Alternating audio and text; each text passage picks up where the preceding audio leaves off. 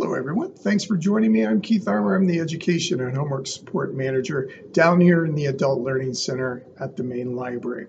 Today's Lunch and Learn is going to be about National Children's Book Week, which actually takes place twice during the year. Um, it's going to be May the 3rd uh, through the 9th, that's next week. And then the next one is November the 8th through the 14th. But we are going to visit um, this wonderful website, which is Every Child a Reader. And we really want to encourage, not just because we're the library, but we really want to encourage everyone um, to continue to do something that a lot of families have been doing since this pandemic, and that is gathering around and reading stories together. It's very, very important. As a former school teacher, um, I taught the little ones second and third grade. And I'm telling you, the importance of reading to children is just unbelievable. The the the the bonding that takes place between you, their parent, their caregiver, um, is so vital for their development. So we're going to look at the resources that um, every child is a reader um, has for us. And then, of course, resources that the library can help you out. All right, so let's take a look.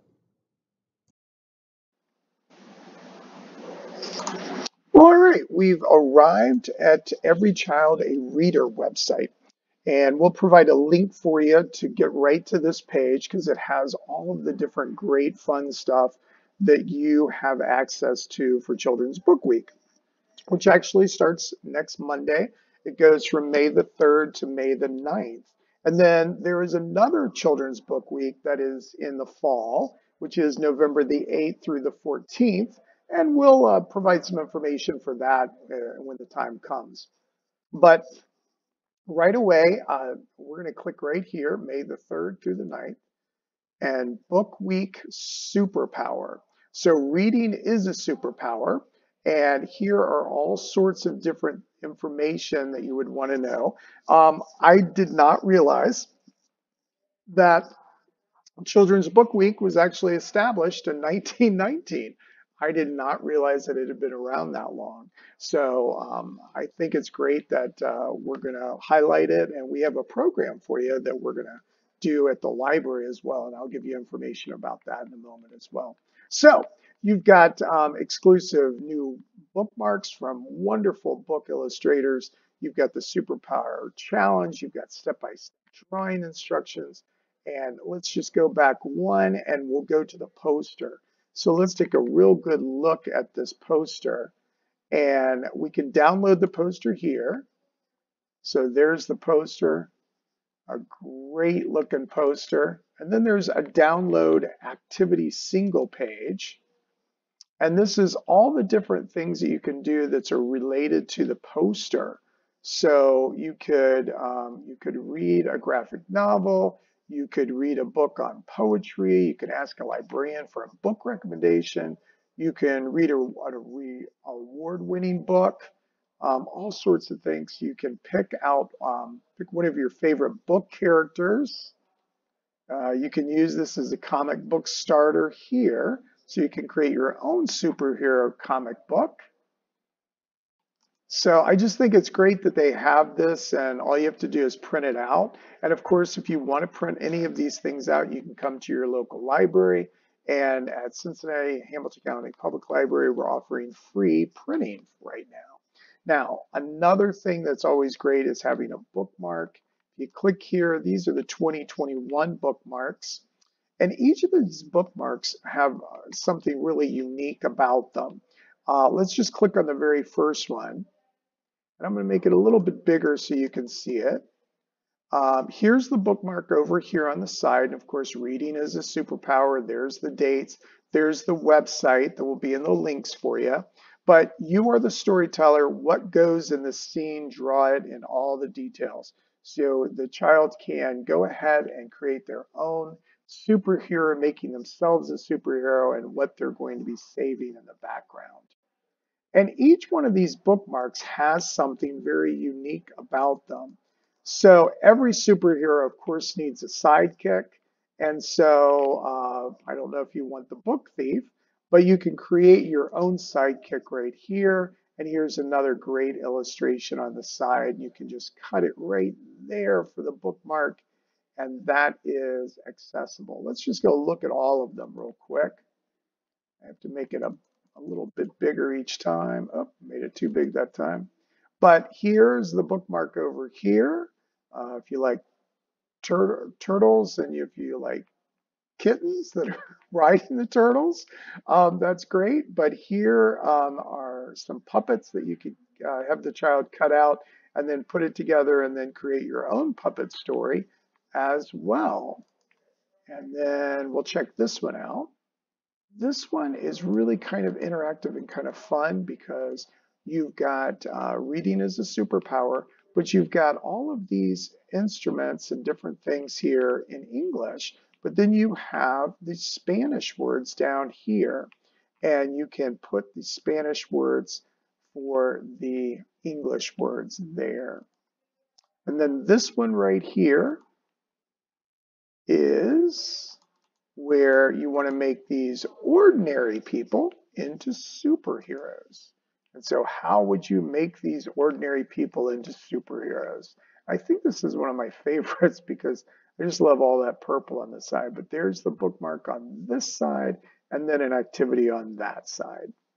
All right. And then of course you can print all five bookmarks right there from there. Okay. And it'll even tell you a little bit more about the bookmark creators here. You can follow them on some of them are on all sorts of different things like Instagram and Twitter and Facebook. And you can learn a little bit more about them. And these are also previous years. It won't go back to uh, 1919, but it goes all the way back to 2008 for the bookmarks. So there are the bookmarks for Children's Book Week. And this is a really fun one too because sometimes when um, people write books, they um, sometimes draw the pictures themselves, they're illustrators, or they get someone to be an illustrator. And this is a great way to get kids interested in, in illustration along with their children's books. And each one of these pages is a different activity. Here's how to draw an alligator, uh, how to draw a little bat, um, different uh, Here's a dinosaur. Here's some dogs here. And of course, you could print and download the entire book right here by full drawing characters books. And I think there's like 20 something pages on that. So you can check that out. But let's, let's just look at this one right here, how to draw an alligator. And so I'll show you each one. And there's some reading that is taking place while you're drawing your alligator. And then there's a picture that the child could draw, uh, color as well. All right, so I think that's a great activity for them to do. You know, we've had all this talk about uh, Mars and returning to the moon, and you could draw an astronaut here. Um, but there's just so many great activities on here. Now, if I come over here, um, this is about the last resource um, that would be pretty helpful. We will go over here, let's check on pledge to participate. Now, at first it's like, oh yeah, it's a pledge. Uh, they give us the definition of a superpower. It's a skill, a personal trait, or a passion that plays an important role in your life, helps you do good in the world, and makes you feel special, happy, and confident. That is a great definition for superpower. Um, but here down here, are different superpower activities. This one is STEM, and that's science, technology, engineering, and math. So let's just click on this. And here is um, different activities that you could do um, that center around science. So you could go for a walk. You could create a superhero buddy using an uncooked egg. Um, this is a little bit more involved. Uh, you could read a book, you could find a great book about STEM or science. And each one of these activity pages, like here, social activism, has some great activities. Connect with an adult in your community who's involved in social activism. Think of something that's important to you that's impacting your family, friends, or community, and find out how you can get involved. Find a great book draw a comic strip. So each one of these will go over a different thing. So here's for the arts, here's for community engagement, here is for identity and culture, here's for physical fitness and sports. If we click right here, some of the activities make up your own sport or game. Create an obstacle course. I've seen a lot of obstacle courses on YouTube and TikTok these days, and it looks like a fun way to interact. Uh, hike or nature walk, uh, ask for a book recommendation on a theme from a friend. And then you've got um, environment and climate, you've got the humanities, and you've got mental health and wellness.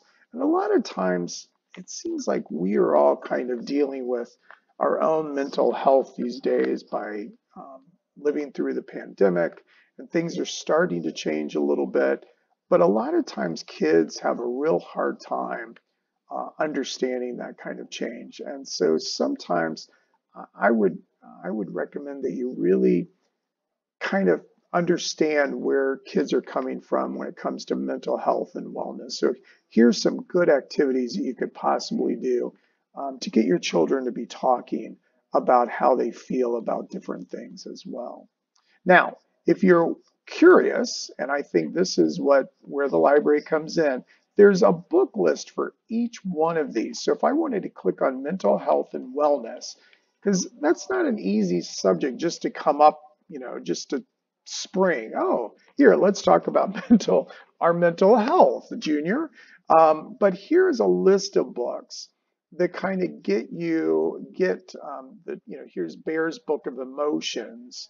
Um, I'm not a label. I am. I can um, it's it will be okay. These are some great ways to kind of read a book with the child and then of course be, start a conversation about about those issues. And I just think this collection, which is not just picture books, but it's also middle school books and young adult books as well. So check that out. I think all of these book lists really come in handy um, so you can, uh, here's a whole superpowers, uh, superheroes and superpowers book. And you can even print off a certificate that looks pretty fancy for Children's Book Week. So you could challenge your child to let's do five activities. Let's or let's do one child one day each day of, of Children's Book Week. Let's do something, and then you could present them with a certificate. All right, let's go ahead and look at the next thing. Let me go back one. And so we went here. Um, let's go right here to resources. Oh, uh, these two, it's this one right here, resources for home. So if I click here, and you'll see here's celebrated home and online. So if I click on that, and you can see here are it's a little bit of it broken down for you to celebrate at home. So I would highly recommend that you check out this website, Every Child a Reader. A lot of great programs, a lot of great activities, uh, things that you can do totally for free. And um, if you're an educator, of course, you can uh, check out the educator kit. And there's uh, partner resources and then all sorts of other things here that you can celebrate. All right. So let's go to our public website. And I want to point out something. If I go to books and media up here and I click here, and then I go over here to kids and families, then the website's going to change for you. And this is a great way to see what's coming up at the library. Here's an outdoor story time, and we're having a lot more outdoor story times. Now, these, of course, have happened in the past, but you can see more events here. Here's very timely because you know cicadas are coming. And uh, Miss Gwen from the Hamilton County Conservation District is actually reading this book. And uh, you can check that out. You can watch on YouTube. There's so many wonderful stories, uh, story times from our children's librarians, and then, of course, guests. And then you can look at their calendar as well. Now, here's a section just on favorite books for kids. Now, I taught second grade and third grade, and I'm telling you, the best part of my day was story time. And I would have a story time in the morning um, where you would feature children, um, children's books that would go with the theme of the day or the theme for the month. And then, of course, later on, I would do a chapter book as well. It's always great to include um, chapter books when you're reading to children. You can always read uh, a chapter book, a harder book to a child that's about two or three grades higher than the child could read themselves. It's a great opportunity to share that opportunity with um, reading a book and getting that experience, using some funny voices. And even if the child asks for a book to be read over and over and over again, that's a great way of getting them to understand the language even more. The other thing you could do is, of course, if the child is reading a book over and over and over again, go to your librarian at your local library and say, hey, my child really likes this particular book. What would you select? And here is um, staff picks for kids here. And this is just a nice list of books that have been coming out in 2021. And of course, you can check them out. You can place a hold. So I'm going to go back one list. And here's autism awareness picks, the Grow Reader with gardening books, Tree Terrific Books, Celebrate Earth Day. It's still National Poetry Month. And then down here are new books that are um, that can be checked out. These are picture books here. And I, you gotta love this title, Old MacDonald Had a Phone. If I click to that, all of a sudden you'll see that it's gone to our catalog. And you'll notice that there's 15 copies. There's 13 that are available. I can click right here and I can see where they're all available. Okay. So if you want to pick one up curbside or go on in, that's perfectly fine too. You can also look right here and you can just scroll down and see the different books there. Now this one also comes in an ebook, ebook format. So if I click here, I can go to the ebook and that's on Hoopla. And then I can enjoy this book, Old MacDonald um, had a phone and he loves his phone. He helps organize his farm. Uh, and so that just sounds like such a fun book. All right, I'm going to click back. Let me click back to my page that I was on. See if I can get back there in time. There we go. All right. So not only do we have this selection, this little scroll of books here, but here are new board books that are out. And talk about a great time to sit and read to children with board books. Here are all sorts of different ones. Here's Blanky, gotta love that title. And you, of course you can view all. And then these are some books that are on order. So they're not available yet, um, but if you take your grandkids and you go to the ocean, that might be a great book. Monarch Butterflies, all sorts of great books that are on order that are going to be part of our collection pretty soon. Okay. And then you've got great read alouds down here as well. Trombone Shorty, not only is he a great trombone player, but it's a great read along as well on here. And don't forget, we still are doing our, our, our take and makes at the library, so you can always check those out. And then um, also, I want to point out on the same page, You've got Overdrive for Kids here. You've got, of course, our Help Now for homework. Um, I know that's still a, terrible word to say around children. Say, up, oh, have you done your homework? But this will really be helpful. Um, if you would like to find activities for preschoolers and real early elementary children, children in elementary schools, um, World Book Early Learning is wonderful. And then there's Tumble Books and then ABC Mouse that you have to do in the library. But then there's Bookflix as well. Bookflix has such a great array of different books that are out there. All right. Okay, so I'm going to go here now. We're running short on time, so let's go to Books and Media, and we're going to go stream and download here. And I'm just going to show you, now of course you can stream children's books from Hoopla and, and Overdrive, but I'm going to go to Libby. Remember, Libby and Overdrive are the same.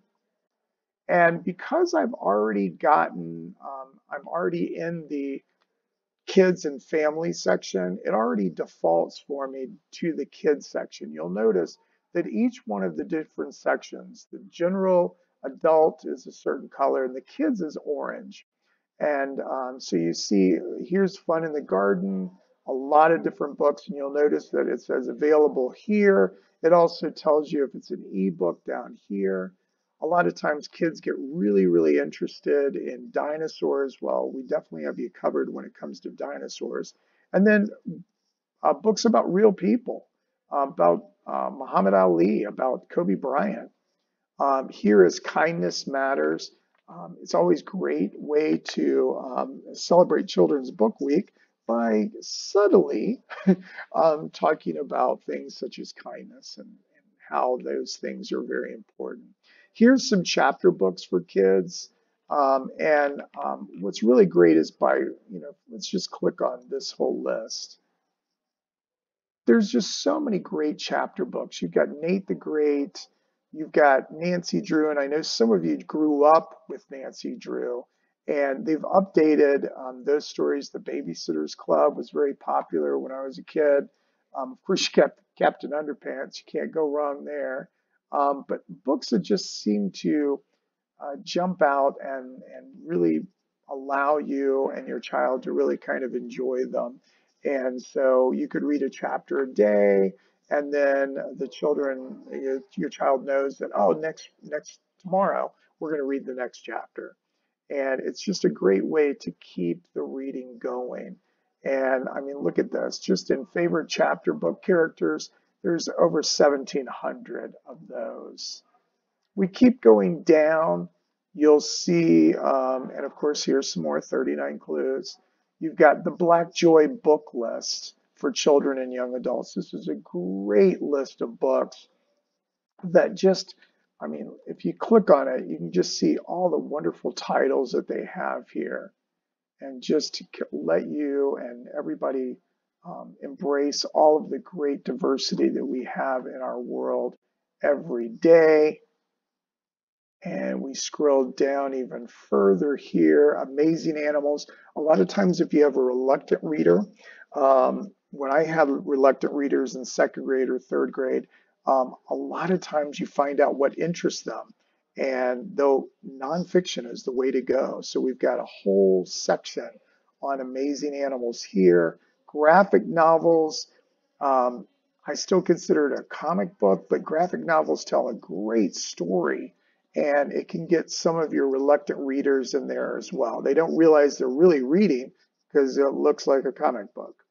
And then there's some great read, read alouds um, for emerging readers. So you could read a page, they could read a page.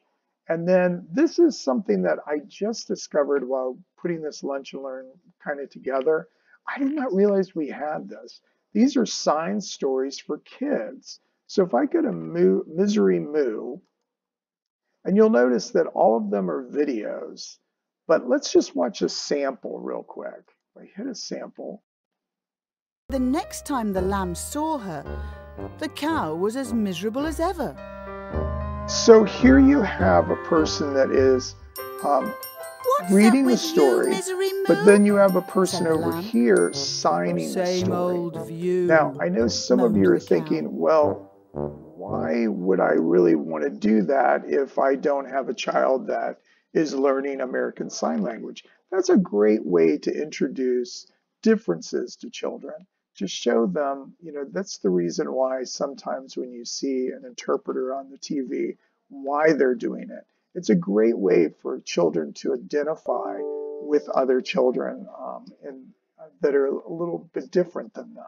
But if, of course, you have a child um, that is um, learning and not only learning to read, but also learning American Sign Language. What a great resource that we have in here.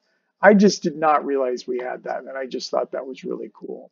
All right, so I'm running out of time, so I want to show you an event that is happening, and it's just not happening one time. It's happening three times, and it is the Who Can Save the Library in Circulation City, and it is our celebration of Children's Book Week. Uh, reading is a superpower with the creation of your own superhero using this bio sheet that will be sent to you. This is a virtual program, and Miss Carrie is an absolutely wonderful children's librarian over in Blue Ash, and she's doing this program not only on the 3rd, uh, next Monday, but also next Tuesday and next Thursday. And you'll notice there's some um, different times. So 4.30 to 5.15, 4.15 to 5, and then this one's 6.30 to 7.15. So I'll put a link there for you so you can um, register for this program because things are going to be filling up pretty quickly. We also want to fill up everyone's bellies if they need some food. And so our meal program for youth is still going on. That's Mondays from 3 to 5. And if you know any children or if you have children that need some food, these are our locations. And it's really important. Um, sorry, but our Northside branch is temporarily closed for repairs, but all of these other locations. So if you do know a family or children that are in need, let them know about our meal box service. And of course, we have some frozen meals too for families, and that's Mondays um, from 3 to 6, and that's wonderful partners from the Soup, and that's at those locations. And there's all sorts of different activities that are going on at the library. One that I just thought was hilarious was find baby Yoda in the library. And this is happening over in Wyoming. And um, so you can find Baby Yoda. Uh, this is the way. Baby Yoda is hiding in the library. If you find him, come to the desk and tell us where you see him and then get a prize. One prize per day per customer. So they're hiding Baby Yoda in several different places. Uh, it looks like throughout uh, next week for um, Children's Book Week. So you could definitely, Children's Reading Week, so you could definitely check that out at Wyoming. There's other activities too. Um, I know Sharonville is decorating a spring mass next Tuesday. And one thing that I always have a, uh, I never have any time to show you this, um, things that are happening on Thursday, but this is the introduction to finding grants. And Kent is our librarian over in the information reference department he does such a great job on helping people with um, finding grants. And we have this wonderful foundation directory online database um, that uh, sounds very spooky, but he will show you how to use that effectively. And that is a class that you could sign up that's going to happen next Thursday, May the 6th from 2 to 3.30. So definitely check that out. All right, I'm going to click out and uh, tell you a few more things and we'll call it a day.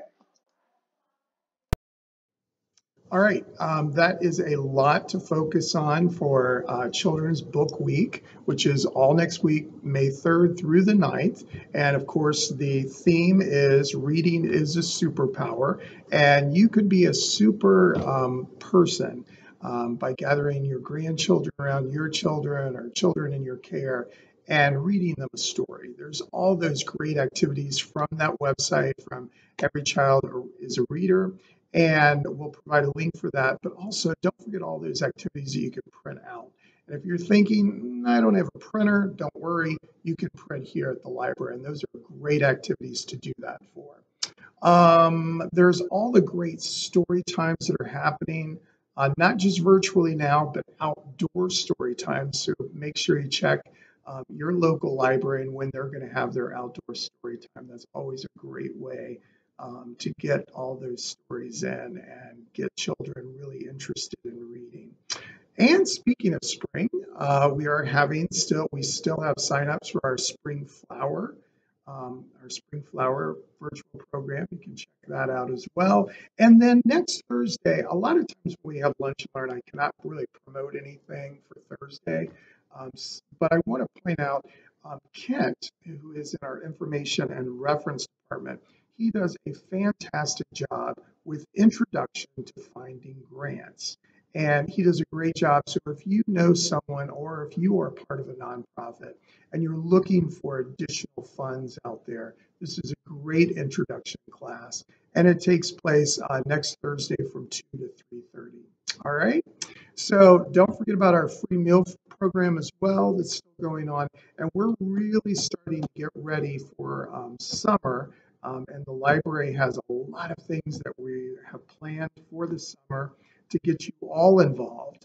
Um, so check that out. And next week, um, I'll see you next week for a lunch learn. All right. Have a good week.